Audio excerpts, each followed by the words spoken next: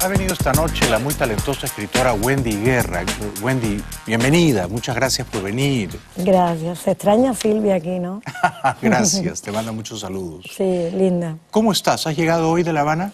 Sí, estoy un poco cansada, pero feliz porque eh, llegar y verte es como, hay como una especie de extrañamiento berchiano, ¿no? Salir de La Habana, eh, aduana, policía, no sé qué, y, verte es como que yo estoy aquí realmente. Me alegro muchísimo de verte. No nos veíamos en año y medio, dos años sí, fácilmente. Sí, han pasado tantas cosas. Desde Negra, tu, anterior novela. Bueno, entre las cosas que han pasado, eh, se murió Fidel Castro. Antes, ganó Trump. Sí. Eh, ¿Estabas en La Habana cuando ganó Trump el 8 de noviembre? Sí, estaba en La Habana. ¿Te sorprendió, te afectó? ¿Cuál era tu estado de ánimo? Yo escribí al New York Times y escribí en El País, creo que fue, y en el Herald yo tengo una columna aquí. ¿Te leo en el Herald? Sí. Yo te leo y tú me lees, nosotros nos leemos. y, sabes que fue interesante porque veía a la gente muy afectada, claro, todo el mundo está afectado por Trump. Pero me pregunto si yo realmente que a los 13 años te ponen un fusil para que aprendas a tirarle a los americanos. No estoy muy adaptada a estar incómoda con un presidente americano siempre, porque te, te educan para estar incómodo con un presidente americano. Incluso cuando estás cómodo, tienes culpa de estar cómodo. porque supongo que con Obama estabas más cómodo, te habías encariñado. Sobre todo, la, no la última, la, de quitar lo, de la ley y todo, pero sí la parte de ir a Cuba, todo fue muy cinematográfico. Pero realmente yo recuerdo que los americanos eran un tiro al blanco donde había que darle al a la frente, ¿no? Era, y yo siento que Trump se parece un poco a estos muñecones americanos a los que había que darle, ¿no? Era como que se volvió realidad esto de darle al blanco con la metralleta. Y realmente a mí me parece que ahora hay un grupo de presidentes en el mundo que se parecen mucho todo, que es como un gran malentendido mm. y que está muy lejos de ser presidente, pero sí está muy cerca de ser como una caricatura y, yo como que a Trump le he quitado el plot. Mm. Cada vez que lo veo, lo veo poco. No, no vivo en un país donde Trump tenga una presencia enfática, pero tengo la impresión que se parece mucho a lo que yo debía dispararle y no a lo que puede ser un presidente como Obama, ¿no? ¿Y lo ves como un peligro, lo ves como una amenaza para tu vida cotidiana en Cuba? No creo, porque yo creo que él tiene... Eh, te digo lo que dice la gente en la calle en Cuba, ¿no? Eh, yo creo que él tiene relación con Rusia, mi país también, así que no creo que por el momento. Igual, mañana se vira con fichas Ah, pero la, percepción en La Habana es que como Trump es amigo de Putin y Putin es amigo de Raúl, Trump y Raúl se pueden entender. No sé si Raúl directamente, pero que son gobiernos así. El cubano tiene una visión Félix Valle Cañeno, que hay un, un, secreto que al final se va a develar y el secreto es que nosotros seguimos pensando que Rusia ahí atrás hay una voz en ruso que nos están parando, ¿no? Es como un secreto del derecho de nacer, ¿no? Y yo creo que la gente no siente que Trump acaba de hablar y decir, se acabó esto, se acabó aquello, porque algo está pasando realmente entre, entre Trump, Rusia y Cuba, porque esas tres cosas no se acaban de aclarar. ¿Y cómo percibe el cubano promedio a Putin o tú a Putin? Yo creo que yo lo percibo muy lejos, porque nosotros tuvimos una presencia rusa mm. tan fuerte que yo no estudié inglés, yo estudié ruso en la escuela, ¿no? Increíble. Sí. ¿Y hablas todavía ruso? Bueno, yo bloqueé todo eso porque me era muy desagradable. Casi no, mejor, casi. No Tolstoy, no, no, no, para nada. Ni el, el cine ruso realmente lo disfruté muchísimo. Sí. Yo, yo es un poco lento para mi personalidad supersónica, pero sí lo disfruté. pero mis dibujos animados fueron eh, por supuesto, dibujos animados rusos. ¿Eras capaz de leer ruso? Sí. No, y todavía quiero decirte que en los aeropuertos ese, cuando no hablo inglés y no veo francés y no hay español, leo un poquito de ruso. ¿Has estado en Moscú? No. Mm. Pero te digo, para nosotros, eh, Putin está muy lejos de lo que eran los rusos para nosotros. Putin es como un es como un Hamson, ¿no? Como un tipo como de playboy. Y me parece raro porque los presidentes rusos eran viejitos gordos, casi momias. Mm, mm. Y nosotros a, Putin lo vemos en muy Brezhnev. Sí, claro. Incluso en Gorbachev o en Yeltsin. Sí, en Gorbachev era algo raro porque nos los escondían porque tenía unas ideas un poco subversivas, alternativas. A... y eh, ¿Cómo te afectó la muerte de Fidel Castro a fines de noviembre? ¿Tú estabas en La Habana cuando se anunció la muerte de Castro? Me iba me iba a Guadalajara ese día, no al otro, llamaban y dejaban recados raros y yo decía, es una bola, porque yo, bola decimos eh, cuando hay un... ¿Un rumor? Un rumor. Enemigo rumor, diría Lezama Lima. yo dije, no, no, no voy a coger el teléfono. Siempre están matando a Fidel, Fidel no se va a morir, mm. porque nosotros nos criamos con la idea de que Fidel no se podía morir. Sí. Y, y sí, el primero que llamó fue el agregado cultural francés que me dijo, me dejó el recado, Wendy, yo creo que mm. murió Fidel. Y yo decía, este hombre lo van a votar de Cuba si sigue diciendo esas cosas.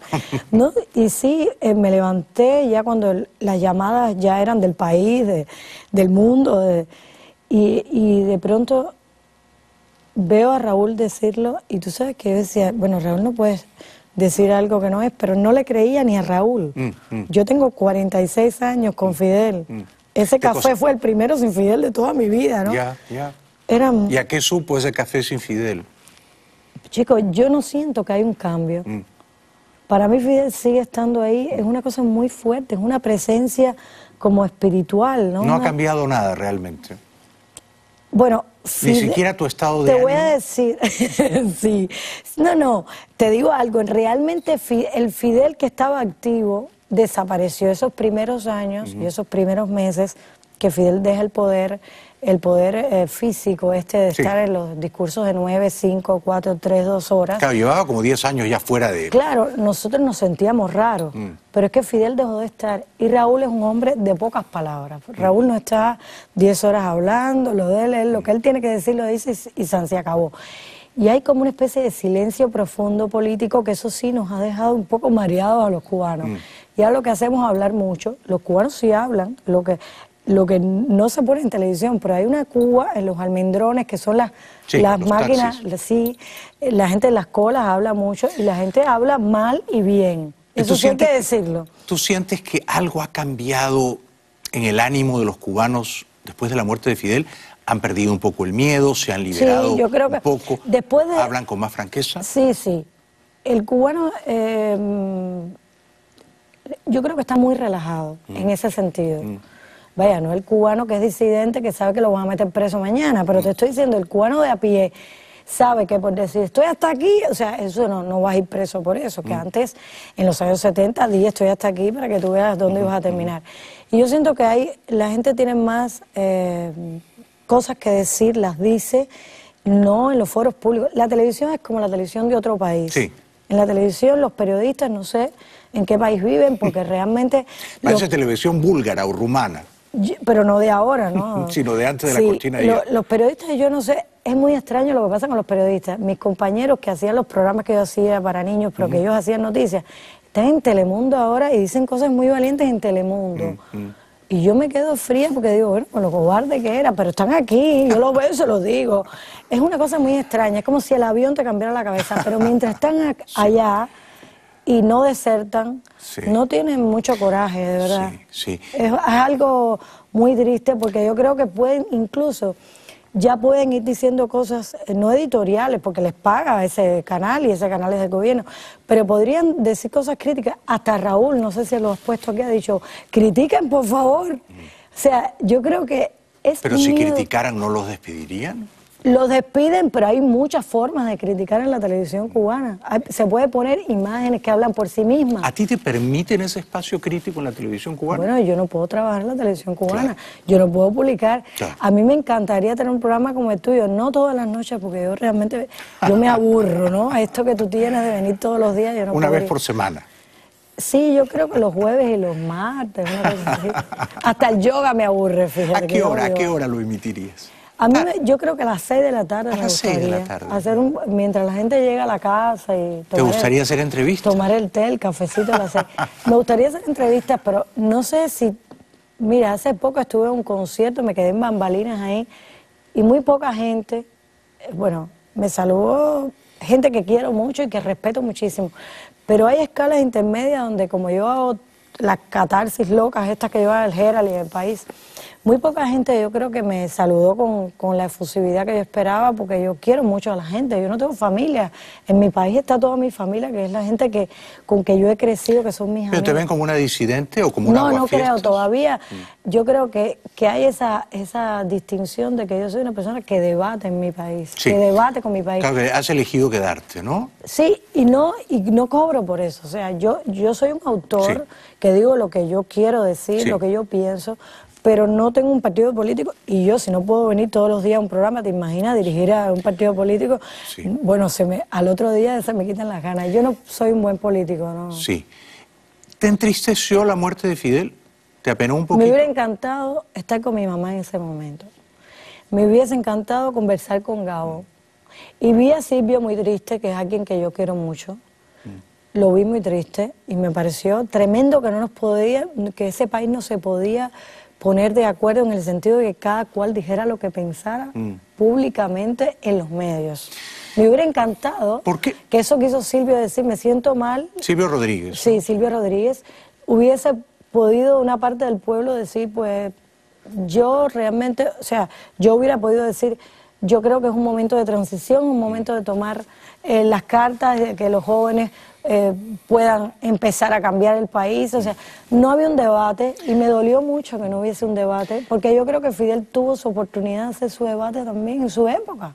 ¿Y por qué no vimos gente en las calles más o menos contenta de que había muerto Fidel Castro? ¿No la vimos porque la mayoría estaba triste o no la vimos porque la mayoría estaba contenta, aliviada, esperanzada, optimista, pero tenía miedo de expresar esos sentimientos? Había miedo, había una especie de reflexión. Es toda tu vida, es que yo no sé cómo explicar eso miedo había, te digo, no, me estoy ocultando de la pregunta, la estoy siendo frontal, pero yo, por ejemplo, tenía necesidad de pensar qué iba a pasar con mi vida, que había sido la vida de mis padres. Era un luto de verdad. Te, un luto para mal, para bien, marque con una cruz, pero era, era muy fuerte. Mm. E, eso es un manto que ha tocado hasta tu vida, mm. ha tocado la vida de todo el mundo y la gente estaba como con miedo ni siquiera, no era que te iban a reprimir, ni que, era un miedo a qué va a pasar mañana sin Fidel. Mm. Nosotros somos capaces de seguir un proyecto mm. que mucha gente aguantó porque el papá era fidelista, porque tú eras fidelista, porque el vecino... No, después... ¿Qué pasó en Cuba sin Fidel estos meses? Nada. Nada significativo. Nada. Respetar el dolor del otro, mm. eh, respetar el miedo del otro y respetar qué hacer. Eso la gente se ha respetado. Yo creo que lo único que, hemos probado es que somos respetuosos. El miedo está, pero también el respeto. Y hay que decir la verdad. Me piden publicidad. Es absolutamente un placer conversar contigo, Wendy, querida. Gracias. Algún día, cuando hagas este programa a las 6 de la tarde, me invitas y, seguimos conversando allá. ¿Cómo no? Yo, yo encantada de... Vía Skype, claro. Ah, sería interesante. yo, no, yo no voy hasta que Cuba sea libre. Tú sabes que yo soy un chico un poco dogmático. Sí, sí, sí. Regresamos con Wendy Guerra. Nos une la literatura, pero sobre todo el flequillo. sí, es verdad. Ha venido esta noche Wendy Guerra, una escritora que es inmensamente celebrada por la crítica española. Ha publicado novelas eh, de enorme valor. Eh, Wendy, García Márquez era tu amigo y tu amigo íntimo. Y no solo era tu amigo íntimo, pero era casi una figura paternal para ti. Él te adoptó como escritora y te apoyó muchísimo. Eh, ¿Sentiste mucho su muerte eh, en abril de 2014? ¿Cómo, cómo te afectó? Eh, estoy muy afectada por esa muerte. Yo creo que es la muerte, la de mi madre y la de él son las muertes más difíciles. ¿Quién falleció primero? Mi madre en el 2004 y hace dos años Gabo, en Semana Santa pero cuento en este libro, pero ficcionado, porque sabes que yo hago esa cosa rara que es la autoficción, que es como un guiso ahí, mm. donde no se sabe qué piensa uno y qué, piensa el protagonista. Yo cuento que el momento que sale el cadáver, que en este caso la, protagonista está fuera de la casa, siento que se va un poco de, de la izquierda latinoamericana, la izquierda culta latinoamericana. Mm. El cadáver de García Márquez. Sí, es como el cadáver de, un tipo de izquierda. La izquierda latinoamericana sigue, la izquierda intelectual va a seguir. Mm. Eso se va a ir modificando, pero hablo de esta izquierda tal como se había visto, ¿no? Esta izquierda macondiana, cortasiana, mm. Casa de las Américas, mm. revolucionaria en un sentido. ¿Tú sentiste que fue el fin de esa era? Yo sentí, te decía que era como un alma que, que se iba a un lugar que no era el lugar donde yo estaba y que yo me sentí un poco ajena y un poco aliviada de algunas cargas también políticas, liberada por un lado y con una pérdida muy profunda de muchos valores también que fueron a otro lugar. Y también liberada de ciertas cosas, culpas y cosas muy complicadas que hay en estos planos, ¿no? También, porque esa izquierda guardaba también muchos nichos que todos sabemos y todos conocemos. Entonces fue un momento, yo creo que es una preparación también para la muerte de Fidel. Recordemos que nuestra educación es de pionero, es marxista. Piensa en lo que piensas y decidas tu destino luego, y vivas donde vivas. La educación de un jesuita es una educación específica, la de un marxista es específica, aunque tú cambies y mutes. ¿Te afectó más la muerte de Gabo que la de Fidel? Sí, muchísimo, muchísimo más. ¿Qué, ¿Qué es lo más valioso que te enseñó Gabo? Yo creo que el trabajo. Porque una persona con tanto talento, que era chorro, con tanta gracia, imaginería, abolengo, eh, ahora tú decías algo sobre, primero me ganó el premio Nobel, cuidado, el premio Nobel ha mutado, el momento que él ganó el premio Nobel era algo como de los caballeros de la mesa redonda, ¿no? Mm. Ahora el premio Nobel es mucho más cercano a todos nosotros, no a mí, no a mí, pero a ti. Quizá, no, no. Bueno, está más cercano a la vida real, pero Gabo era como una divinidad, ¿no? Absolutamente. Y yo, yo siento, Jaime, eso, que yo siento que, que Gabo, la pérdida de Gabo es la pérdida de un prócer literario, un prócer también de la izquierda, y la pérdida de un padre, y la pérdida también para Cuba de un puntal que Cuba no va a ganar nunca más. O sea, Gabo era una columna de... Todos los problemas que se creó Gabo en la vida, ¿por qué fueron? Por su apoyo en la Revolución Cubana específicamente. ¿Cómo, te llamaba él en privado? No, no, Wendy, Wendy. ¿No te decía ningún apelativo cariñoso? No, no, no, no, Wendy. Ya es demasiado cariñoso llamarse Wendy, es horrible. como ser un dibujo animado. ¿Cuál es el libro de Gabo que más te gusta? A mí, bueno, a mí Cien años de soledad me, ayudó a entender a mi madre, mm. que venía de un mundo realmente realista y mágico, que es Van, es un lugar donde teníamos un, un vidente, eh, mis abuelos y mi, madre que hablaba, se llamaba Herculano, como ese pueblo que está cerca de, Pompeya, y que decidía lo que había que hacer. O sea, mi mamá se fue a alfabetizar porque Herculano, ese espíritu, decidió que ella podía ir y no irse a Estados Unidos a estudiar ministro de iglesia. Entonces, esa madre que yo no entendía muy bien, me la explicó Gabo sin yo conocerlo cuando leí Cien años de soledad. Qué bonito. Pero tengo una relación muy fuerte con los cuentos de Gabo. Creo que aprendí a escribir con, esos cuentos. ¿Lo echa mucho de menos? Sí, yo creo que estoy un poco perdida. Emocionalmente estoy un poco perdida de su muerte. Mm. No, de verdad. Incluso me hubiera gustado mucho conversar con él cuando murió Fidel, porque él tenía otro tipo de relación con Fidel. Mm. Quizás él no podía entender mis problemas con Cuba y mis problemas con Fidel. Y yo escuchaba hablar, y él me dio la oportunidad de escuchar hablar de un intelectual que yo realmente no conocía tanto como Gabo. ¿no? ¿Por qué crees que se pelearon Vargas Llosa y Gabo? Vargas Llosa le dio un golpe, un puñete, una trompada a Gabo, después de haber sido íntimos amigos, compadres, vecinos en Barcelona, pero se pelean. Dicen que por un lío de faldas. ¿Qué sabes tú? Yo...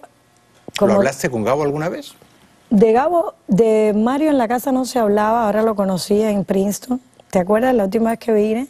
Me iba a Princeton, lo conocí con una nueva esposa. Sí, sí. Ese pasado de ambos no lo recuerdo. Ellos no... no hablaban del tema, no, el tema prohibido. No, pero yo sí creo que puede haber sido de falda, pero también creo que hay un momento donde el éxito te toca de una manera que las cosas, uno empieza a tener que distanciarse de personas que uno nunca pensó. Es verdad, ellos se conocen en el aeropuerto de Maiquetía a fines de los 60 en Caracas. En ese momento Vargas Llosa era el escritor consagrado.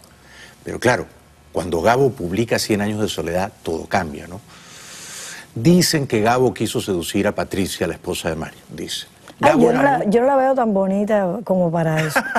eso decía Mercedes. ah, no, bueno, nunca he hablado de eso con Mercedes. ¿Has seguido viendo a Mercedes la sí, sí, Sí, no, bueno, Mercedes es alguien... ¿No es tu amiga?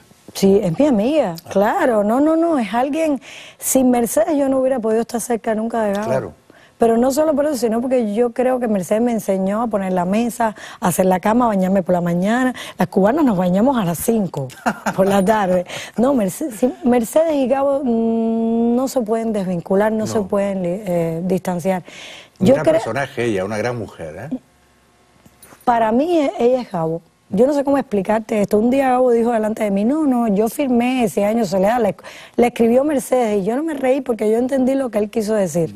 No estamos hablando de, sentarse en la máquina de escribir. Yo creo que ella es un personaje muy especial. Sí, a ellos entiendo que les apasionaba la música, ¿no? Era, era muy importante la música en sus vidas. ¿Para ti también? Yo estoy casada con un músico que tú conociste hace unos años. Sí, en Barcelona. Sí, y él una vez tocaba jazz delante de Gabo en un bar de La Habana, Hernán López Nusa, que vamos a estar ahora con Fundarte en el Miami, ¿cómo se dice? Miami Dade County Auditorium. El sábado a este las, sábado que viene. A las 8 yo voy a presentar y Hernán va a tocar una colaboración. Qué lindo, tú vas a ser como la maestra de ceremonias. Sí. ¿Y tu marido va a tocar el piano? Sí, gracias a Fundarte, que tú sabes, Ever dirige Fundarte y hace esta cosa de que los cubanos de allá y de acá nos encontremos en un espacio primero no cobramos, segundo no hay una política que nos separe, sino una cubanidad que nos une. Primero está el arte, además. Siempre preside el arte. Ajá, y Gabo y Hernán, que es apolítico completamente, Hernán no sabe eh, absolutamente nada de nada de la política. Se comunicaban Gabo y Hernán con lo que van a ver los, los cubanos que vayan ese el sábado 18 allá con el jazz. Mm. Y dice Gabo, Hernán, pero ¿cómo tú puedes tocar con una mano una cosa y con otra otra? Y dice Hernán, de eso se trata, Gabo. y Gabo decía que iba a hacer un libro de crónicas que se llama De eso se trata, que es todo lo que hacemos y nadie entiende cómo se hace. Pero qué buen título, qué buen título. Te lo regalo porque Gabo no los va, no los va a pedir, ¿no? Y Hernán tampoco. Pero te voy a decir algo, con la, con la muerte de Fidel, con la llegada de Tron, con la muerte de Gabo, con la muerte de mis padres, hay un mundo que yo no reconozco y que estoy aprendiendo a caminar. Te sientes un poco sola o extraviada, ¿no? Sí, realmente, fíjate, cualquier cubano dirá, se murió Fidel. Sí, está bien, se murió Fidel, pero yo me pregunto si hasta los grandes enemigos de Fidel ahora no se sienten como cojos, porque realmente cómo, cómo hacemos para reinventar un país, reinventar un enemigo o Es muy difícil, ¿no? Es, es, una cosa muy extraña, pero yo sé que, que yo voy a recibirte en La Habana un día, físicamente. Me encantaría. Y que vas a ver que es un país que se parece mucho más a ti de lo que tú crees. Me encantaría, yo a ti te quiero mucho. Y yo, como tú me baño a las 5 de la tarde. Ah, mira. Sí. Gracias por venir. No, Recomiendo todos los libros de Wendy. Negra, por ejemplo, Todos se van y este último que es fantástico, Domingo de Revolución, muy aplaudido por la crítica más exigente. Y Wendy va a estar este sábado 18 de marzo, 8 de la noche, Miami Dade County Auditorium, en una conspiración artística, una aquelarre musical, ¿no? Exactamente, está Picadillo, está Carlos Puy, está Hernán y estoy yo. Es algo relajado que nos hemos inventado porque Ever y Fundarte nos los ha pedido y por supuesto con mucho gusto. Gracias. Gracias Jaime por tenerme esta especie de internado aquí cada vez que, te quiero vengo. No, te quiero. Gracias y un beso a Silvia.